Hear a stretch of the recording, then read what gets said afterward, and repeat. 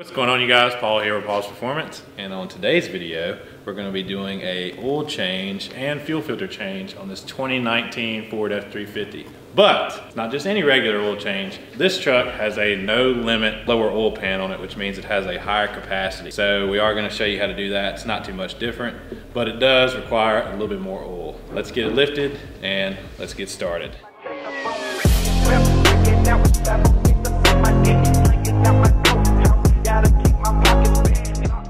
Guys, so first uh, we got it mounted up on the lift. I know not everyone has a lift, but we do, so we're gonna use that. But the first step I like to do is unscrew the oil cap just to let the oil flow a lot easier once you pull out the drain plug. And a very crucial step right after that is to make sure that you cover the entire engine bay in dust. That way that gets into the engine oil. It'll help with the lubrication system and will really just smoothen out anything that has any roughness inside the motor. All right, don't actually do that. It is best to have a clean engine bay whenever you take off your oil cap. That way you risk any contamination of dust or dirt or anything like that. We wanted to make a joke because of how dirty the truck is. Wonder how it got that way. So we got the truck up in the air. We're gonna start with changing the oil. So we have here, as you can see, this nice shiny lower oil pan. This is a no limit brand oil pan. Basically the same as uh, any other oil pan. It's got a drain plug right here in the very bottom that uses a 14 millimeter Allen bolt, which we have mounted right here on our long ratchet. And then we have our oil filter right here, in which we remove with just a regular oil filter wrench. So we're gonna go ahead and get the plug removed and get the oil draining and then we're gonna get the oil filter off and let that drain and then we'll move to the lower fuel filter once uh, we got those two drained out. So I'm gonna get that off and then we'll be right back. All right guys, so we got the drain plug out of the No Limit oil pan. This is obviously not stock, this is the No Limit. It has the 14 millimeter Allen. It is also magnetic, so it will pick up any metal flakes that uh, is in your oil. And as you can see, this one is clean because it is not a Duramax. We're gonna get this uh, wiped off and we're gonna inspect this uh, O-ring it has on it. As you can see, we have just a regular O-ring on it. I would advise putting a new one on it every time. This is the first time we've changed it out. We're gonna inspect it and see if we need to replace this, but after that, I'd probably just order you a couple. If you get them from No Limit, I'd probably just order you a couple of them and change them every time. For this time, like I said, I have an O-ring kit, so if we need to replace it, we will. If not, like I said, being it's the first one, it actually looks pretty good, so I don't think we're gonna have to replace it this time. Now what we're gonna do is we're gonna get the oil filter off and let that drain, and once it's drained, we'll put all this back on there and move on to the lower fuel filter before we drop the truck back down. So we got our oil filter removed and drained. We have our oil pan completely drained. So now we're gonna be installing a new oil filter and putting our drain plug back in. We have a Rotella filter here because we cannot find Motorcraft. I guess they're gold these days. I'm surprised we even got Motorcraft oil. So we're gonna put this Rotella filter. It's probably just as good if not the exact same filter on. So make sure you get you some engine oil, put it on the O-ring, clean your uh, filter surface and make sure that the old O-ring is not stuck there because you don't want to double O-ring it. If you do, you'll know very quickly when all your oil is on the ground. We got some oil on our O-ring here. We're gonna spin it up by hand and tighten it up. Do make sure that you put lots of fully fingerprints all over it so that it looks like somebody done some work on it. You definitely don't want this to be clean. We got our new uh, oil filter installed and full of oil. We got our drain plug installed and ready for the dyno juice to be dumped in. Before we lower the truck and do that, we're gonna go ahead and change out our lower fuel filter. On this truck, this 19, it has this uh, newer style square fuel filter assembly down here. This is actually my first one with this style. I've only had the 6 7 that had the circular filter that was mounted up a little bit further. This one's really not that uh, any more difficult, but you have your drain here, which is water and fuel drain. If you take this off first and let it start draining, it will probably siphon your entire fuel tank out. You might get lucky, but I know on the earlier versions, uh, if you took the drain and let it loose, it would just keep draining and pull a siphon from your fuel tank. So what I like to do is I will open this drain up and I'll go ahead and we'll go ahead and take these bolts out, which will drop it down and it'll usually stop draining after that. As soon as I loosened up these five, eight millimeters, the actual fuel cap dropped down. It only drained for a couple more seconds and now it's stopped. So we can fully unbolt that and get it out and get this new filter installed. So let's see what it looks like. All right, so we're gonna drop that out of there. And there you can see, we're gonna go ahead and drop our Milwaukee there. I'm gonna close the valve so I don't drain anything else out. We're gonna go over to the bench. If this is your first time, I would suggest leaving it together like this. That way you install the, the new filter the same. It does tell you install, remove on uh, how to get it out. It's not just gonna pull out. As you can see, which it has install this way, remove that way. So what you're gonna do, we're gonna remove it, so we're gonna slide it that way, and now it's gonna come right up out of there. And as you can see, it's got these tabs on it that hold it into place. We don't need that anymore.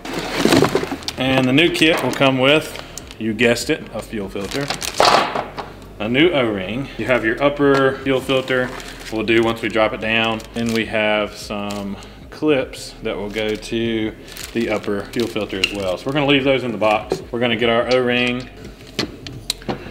There's our O-ring. We're gonna install the new O-ring. We're also gonna inspect the bottom here and look for if it's real dirty. And we can see we got some grit in there. So we're gonna get this dumped out and we're gonna clean this, this bottom half right here before we put it back in the truck. There's a little bit of grit in the bottom of it, which tells me, I mean, it's doing its job. It's not in, it's not in the motor, so. We're doing good. We're gonna dump that out. So I'm gonna clean this up.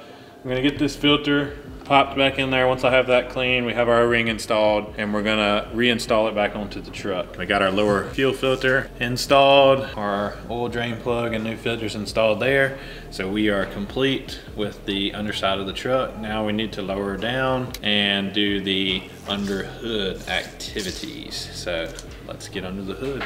We're under the hood now. We're gonna get this uh, fuel filter changed out. We're gonna fill her back up with oil. First step is you're gonna wanna crawl up under the hood. Since they have this great bumper on the front here, crawled up in here and we're gonna get in this position and uh, pray that this job will be over soon. Once we get done with that, we're gonna unhook these fuel lines. Yep, that was actually a step I've missed. You need to make sure you, you throw the fuel cap uh, down into the engine bay and make sure it doesn't hit the ground because you don't want to find that.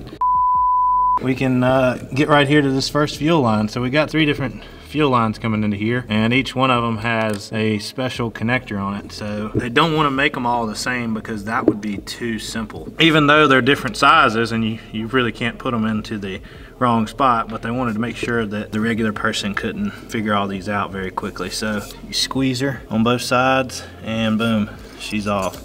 There's one. I'm gonna slide that out of the way. That should come right off. Squeeze that. And there we go. So now we're gonna dump a bunch of fuel on the floor. Now this filter kind of spins into there. Um, as you can see, I'm gonna spin it all the way to the left and I'm gonna pull it out.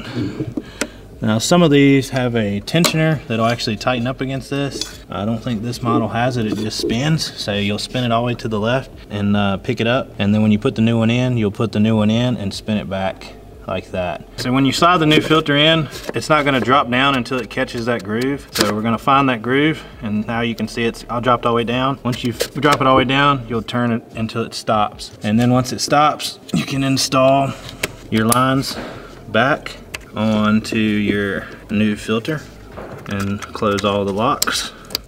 We got all these on and all the locks are back closed. So we are done with that second fuel filter.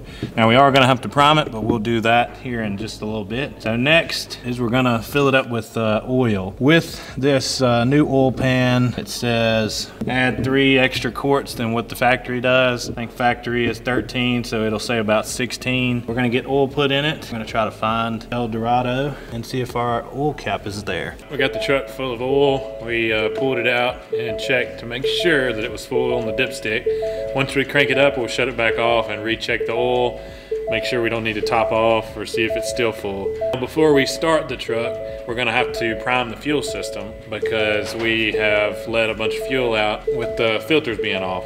And you do not want to start this truck up dry because it could damage the fuel system. It probably will crank once you hit it, but it'll probably cut back off from getting air in it you might not be so good. So we're gonna prime the fuel system using the, the fuel pump. So you're just gonna cycle the key on, let the fuel pump run. It'll run for a certain amount of time and then it'll turn off.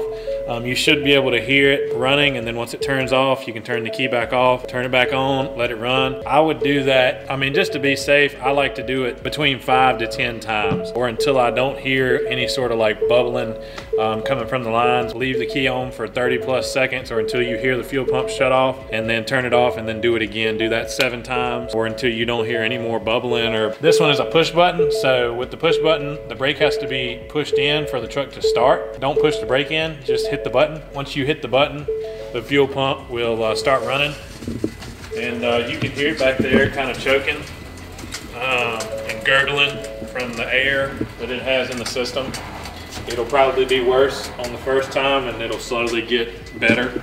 We've hit the start button 10 times. Pretty quiet now. I can't hear anything other than it turning on and running, which tells me that full of fuel. So we're gonna go ahead and crank the truck up and we're gonna let it run for a few minutes to first cycle the oil throughout the system. That we can then turn it off and check the oil and make sure the oil's still full. And to push out any of the remaining air. Hopefully it's little to none with us priming it so it shouldn't shut off at all but um, it will still have just a smidge in it. So we'll let it run through that at idle push that out cycle the oil we'll turn it off come back and we'll check the oil. So let's see if it starts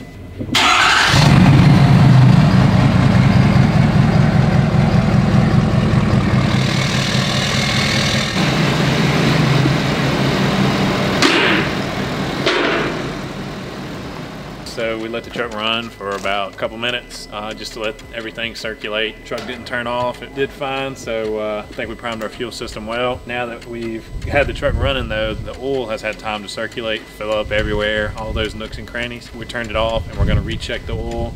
Um, you wanna make sure that it's full or if you need to top off and add a little bit, this one's good to go. We're good on oil, but you if you check it right away, um, it probably will show full, but definitely want to run it a little bit and then recheck it after a couple minutes because you know once the oil circulates and fills up other areas it may drop down. And then once you're done there check over every spot that you went and make sure you have no leaks. Check both fuel filters uh, check at the oil make sure you don't have any leaks of anywhere where you work. And then kind of give it another little glance over and make sure you don't see any other issues with the truck. I have found one issue that is extremely bad for this truck and it's right this right here he's got dookie written on the front bumper which is a no-go.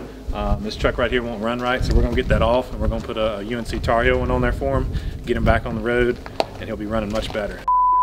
All right guys so uh, that concludes our video. Appreciate everybody watching. Hope this helps you out. Hope you enjoyed watching. And uh, make sure you guys like and subscribe to videos and see you guys next time like it. Like it.